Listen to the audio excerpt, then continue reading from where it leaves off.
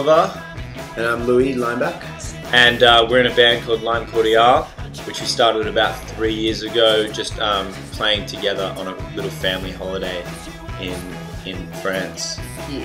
And now we, our band, our live band is, um, you know, made, made up of different people every show. So sometimes it's, you know, a, a four-piece band with a trombone player and a, a and a drummer. Other times it's we've got a keyboard player, a guitarist, a bari sax player, a drummer. So it varies up a little, doesn't it?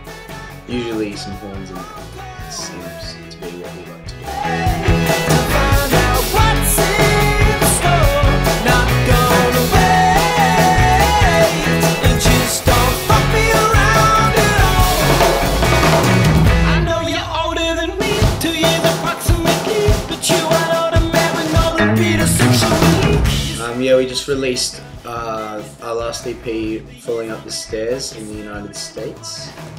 And it's been going good. Um, some of the challenges with that CD. Our producer was a bit of a nutcase. We thought at first it was a while to um, It's scary.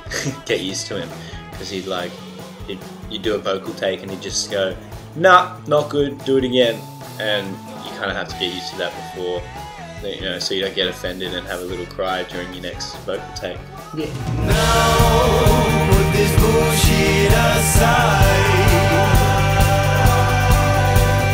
Give your old drinks out, give up your lies. uh, what do we want people to know about us um, I guess that we are all over the like the Facebook and Twitters and things and it's actually easier to interact with us um, than people think uh, like we There's not some guy yeah that's our manager or some guy that we're paying to write all our blogs and whatnot for. yeah we like to interact with um, with you know people on our Facebook pages and know what they think and you know ev- whenever someone says like I really like this song you know we read every message and it means a lot to us to know what people like and what people dislike about our music because you know we're writing our music for people and I think it's important that we we kind of get feedback and interact with these people personally And if it's shit, tell us. Take your butt off that high horse. I've had it up to here with your gimmicks. um, you know most of the 21. yeah 21 year olds um, being the legal drinking age like we we're used to kind of a lot of really young 18 year olds jumping around and getting messy. I think people are a little bit more mature and um, And in, and in California, everyone seems to be pretty high. Oh yeah. Time. that as well. Um, And in Australia, it seems like 18 year old people just discovering alcohol, getting drunk and rowdy.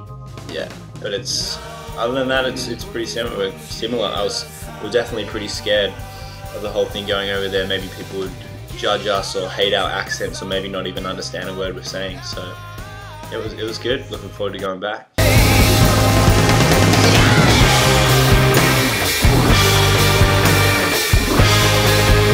challenges this year probably working with my little brother it's, it's been pretty hard um, Great. what else? I, th- um, I guess our, our studio at home we work out of is our garage. It's you know falling apart. And there's holes in the walls, and we have apartments all around us and other houses, and have a lot of noise complaints and things like that. So that's a bit of a challenge. We tend to just ignore it, so it's not that much of a challenge. But We had a council lady come over yesterday and tell us to shut up, and yeah, we had about a week complaints. full of complaints this week. So, Yeah. well, right now we're in Australia, and it's May, and in a couple of weeks we go back to the US. We've only just got back to Australia, and we're planning to just be here to record. We're not doing any shows or anything, so we're talking to some producers, and we'll get some tracks down, and then we're pretty much heading straight back over to the states to do a West Coast tour. Yeah. So um, that is our major plan right now.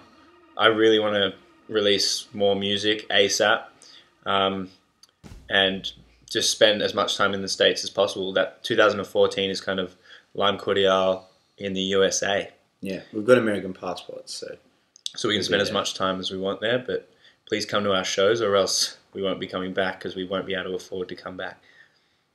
Hmm. Anything else you want to say? Nah.